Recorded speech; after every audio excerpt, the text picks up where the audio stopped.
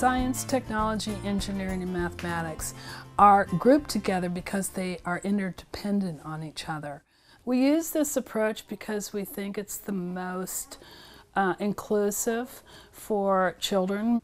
And we think that uh, to prepare them for 21st century skills, we want to give them opportunities and choices that include STEM.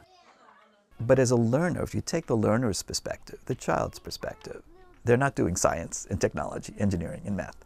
They're living and learning. They're engaging with their world and they're making sense of it.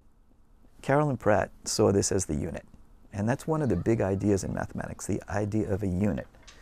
There's nothing like having the experience of fractional parts and relationships in their history, in their life history, to make my point that math is the study of relationships and the science of pattern. It's a whole lot of abstract stuff we can talk about later on in life, but it, it builds from the experience that kids have had with uh, well, well organized, well structured tools like the Pratt blocks the science that's in there, I mean, for Aaliyah to know that she can roll a cylinder or roll a car down, that's um, the, the science in gravity and other balance. They're constantly trying to balance things.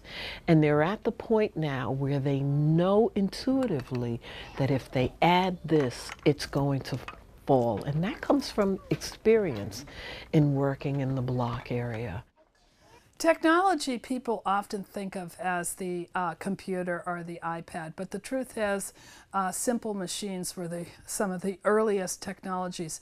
So the inclined plane, how um, a car can roll down a ramp, the wheel and the axle, those are early technology. And when children realize that, you can build the later skills that they will use.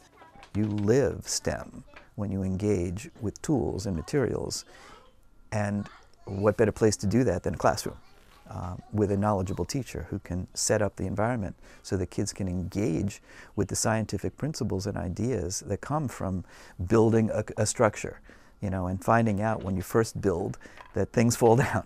They keep on falling down. Well, that's the problem that a kid might encounter, and then he or she has to figure out how to make it more sturdy. Uh, and so, you, so you're living with the engineering problem, you're living with the technology of the tool, and you're, you're solving a problem. So preschool kids, that's the place to start the necessary underpinnings for uh, engineering and mathematical ideas.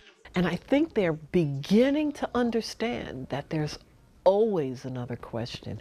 There's always something else to find out. That's power. That's a powerful understanding to have. And we want children in schools, in public schools, very diverse children to have the power of what their ideas are.